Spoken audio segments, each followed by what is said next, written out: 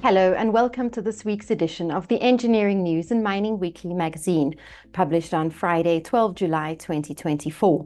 In this week's cover article, Engineering News and Mining Weekly Deputy Editor Online Marleny Arnoldi writes that mining companies and suppliers have teamed up to advance evolving ESG goals.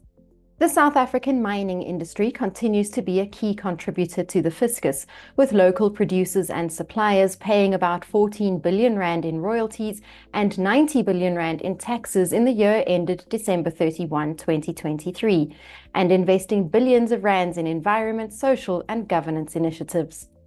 The engineering news features focus on compressors, air motors and vacuum pumps, where a manufacturer boosts its project activity and fasteners, where a CE marked washer range is offered by a distributor.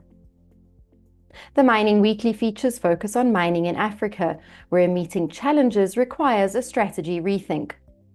And gold, where ESG is highlighted in a company's operations. This week's business leader is Grant Sboros, the CEO of Eurosun Mining.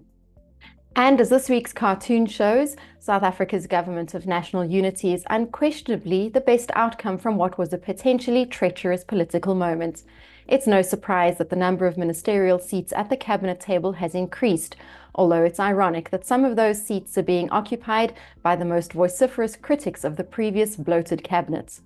We hope you enjoyed this week's edition of Creamer Media's Engineering News and Mining Weekly. Be sure to subscribe to the magazine that offers you in-depth news about developments in the real economy by emailing subscriptions at engineeringnews.co.za. Happy reading and see you next time.